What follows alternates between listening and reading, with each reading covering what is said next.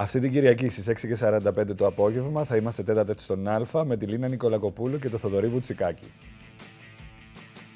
Είχα μέσα μου ένα τραγούδι, από τότε που με θυμάμαι. Για μένα η Λίνα αποτελεί έναν φάρο από νωρίς, ενώ πολύ πριν τη συναντήσω από κοντά. Σε αυτό το ελληνικό τραγούδι που αγαπώ εγώ και ευτυχώς και πολλοί άλλοι, ο Θοδωρής είναι πολύτιμος αυτή τη στιγμή.